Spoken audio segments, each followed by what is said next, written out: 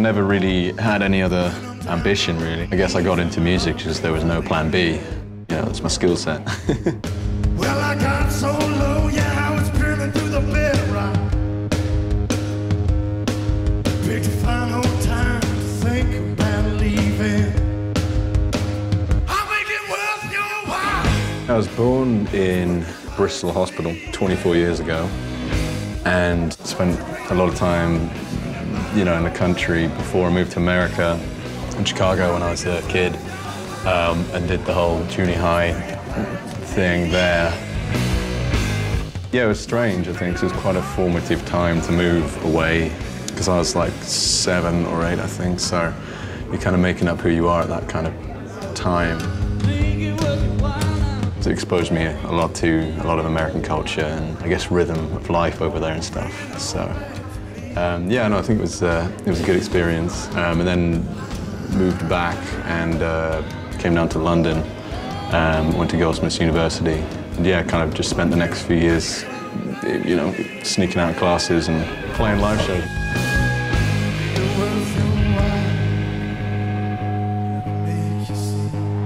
So yeah, I guess I just kind of delved into my dad's record collection.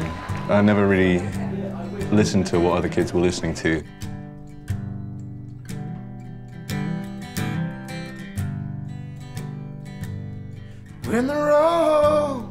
Gets dark, you can no longer, no longer see. Just let my love throw the spark have a little faith, yeah, a little faith in me. When the tears you cry,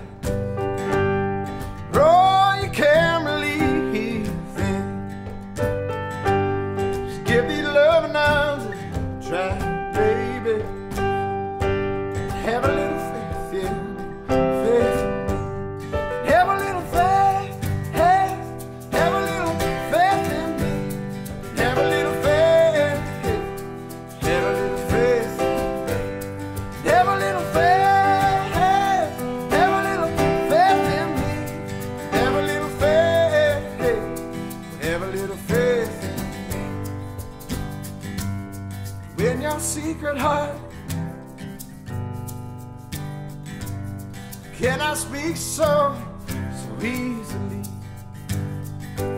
Come here, darling, from western. Have a little faith, a little faith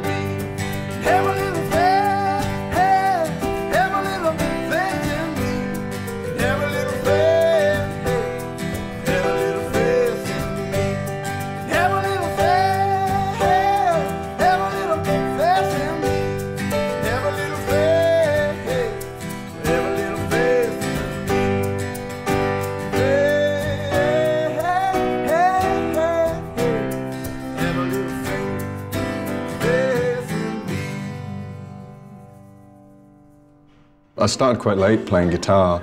so when I was about 15, 16. And I was in, uh, I was in a punk band. Um, but I think we were punk only because none of us could play our instruments, you know. So I think we, were, we had ambitions to be, you know, uh, a rock and roll band. I was writing all the songs and singing and playing guitar, so it's pretty much exactly what I'm doing now. It was good musical upbringing. So yeah, I was in that band, then moved up to London and uh, started playing you know, three or four nights a week playing uh, open mic nights. I was going to gigs and it was, you know, Mumford and Sons and Laura Marling and Johnny Flynn.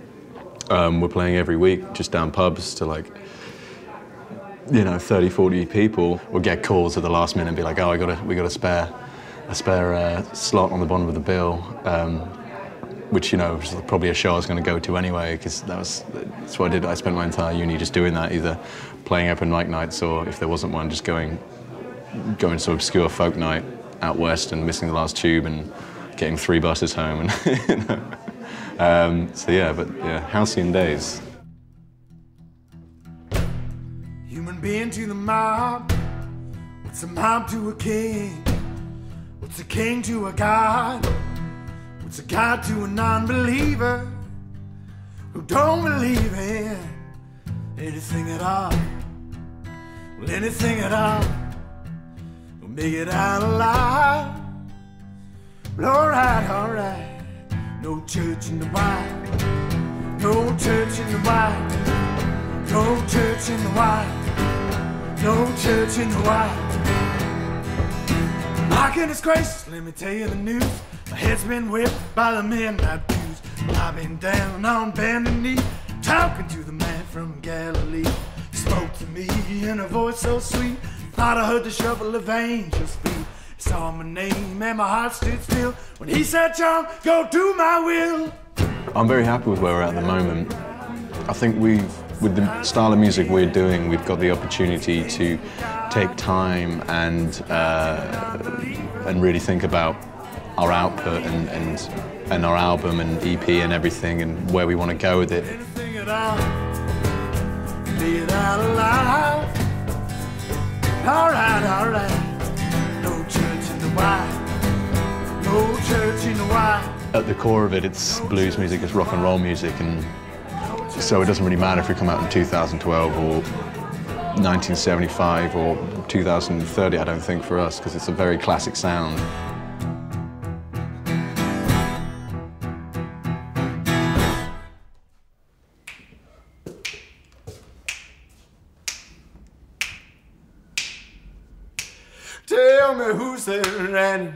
Down the river later? Who's there running down the river later? Who's there running down the river later? Up the book of the seven seas.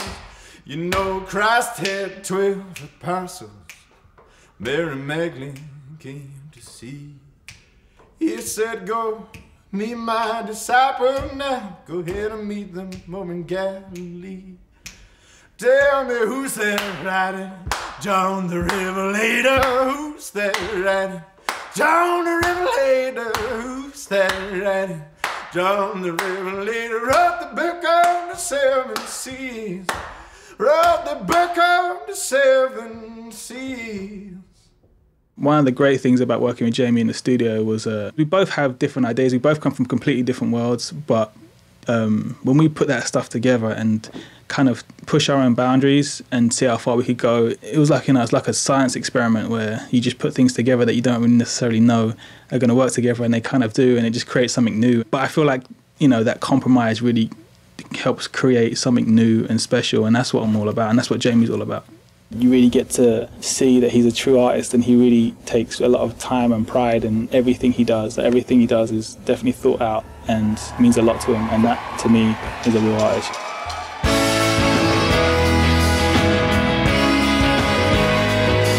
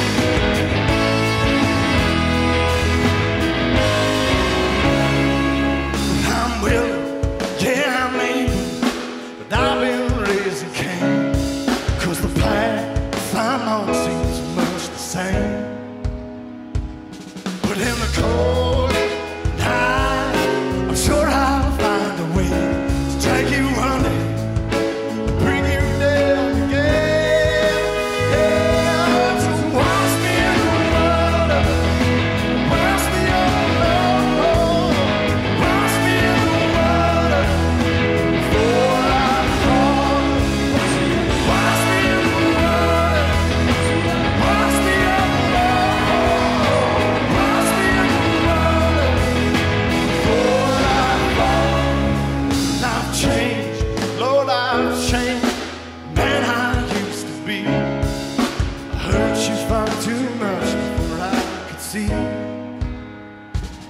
But in the cold